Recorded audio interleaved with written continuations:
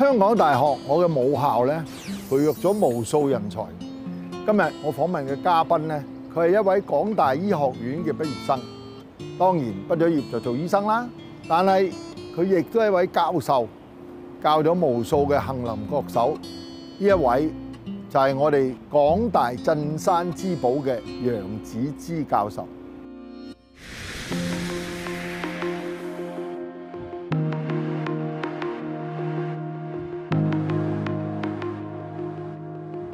教授啊，每一個學生都有志願嘅。你讀書嗰陣時係咪個志願就係做醫生啊？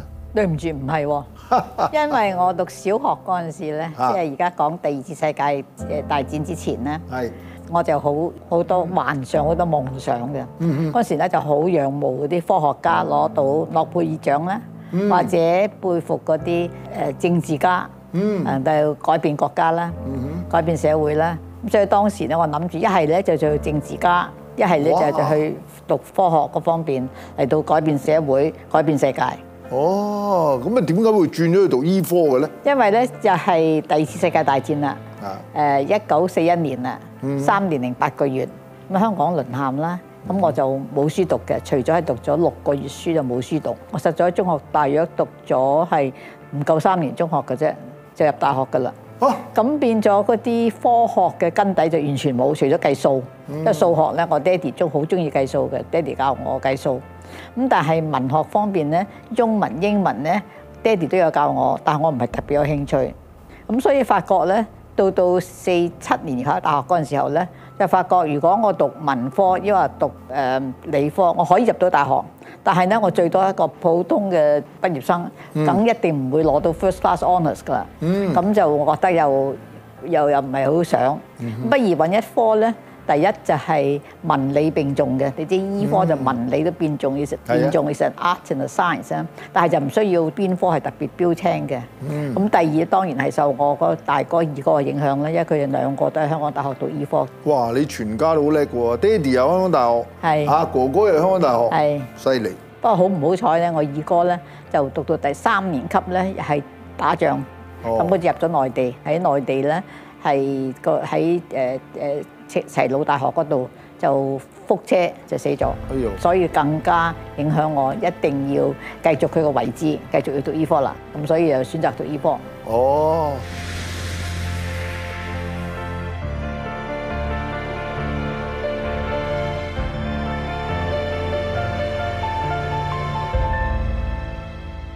你覺得而家讀醫嘅風氣同你嗰個年代有冇分別咧？誒，而家嘅學習嘅模式唔同啦，同我讀我哋讀嗰陣時，我哋讀嗰時梗係梗係 face to face 噶啦。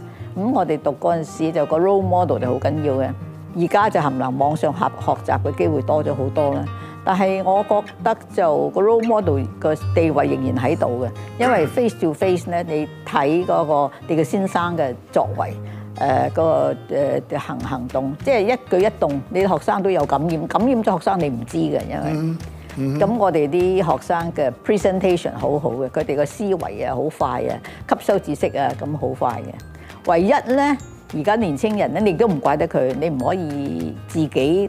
以以前我哋當值四十八個小時冇得瞓，唔出聲嘅，而家唔可以咁噶啦，而家係咪係啊，而家好緊要佢哋 life life work balance balance，work life 啊 balance 好係緊要嘅而家。我見到而家好多誒、呃、學生誒、呃、考 DSE 考到成績好好嗰啲咧，個個都話想做醫生㗎喎。誒喺呢方面你有咩即係忠告我？覺得呢件係好事嘅，但係佢哋就要記記得幾樣嘢啦。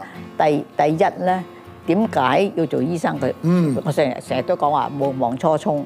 咁佢哋如果住做醫生嘅初衷咧，就係要嚟幫助病人，係研究新嘅病嘅原因，或是而家好似 Covid 咁啦，誒、醫治啦。誒係服務社會，而家今時今日嘅讀醫科咧就好多出路嘅，唔係做醫生咁簡單嘅。除咗醫生之外咧，可以教書啦，可以做研究工作啦，Nobel Prize 都有 Nobel Prize in in medicine 嘅啦，因為誒同埋就去同社會服務啦，誒樣都可以做。咁所以佢哋就要知道自己係興趣喺邊度，同時個出路係好多元化嘅。第二咧，醫學咧今時今日咧就唔可以話今日嘅方法就等於聽日嘅方法㗎啦。即係日日新月異，月異一定要有呢個繼續學習嘅精神，唔係就好落後嘅，落後俾人哋㗎啦。就算你係所謂名醫都好，但係你嘅嘢好守舊時咧，你冇用嘅。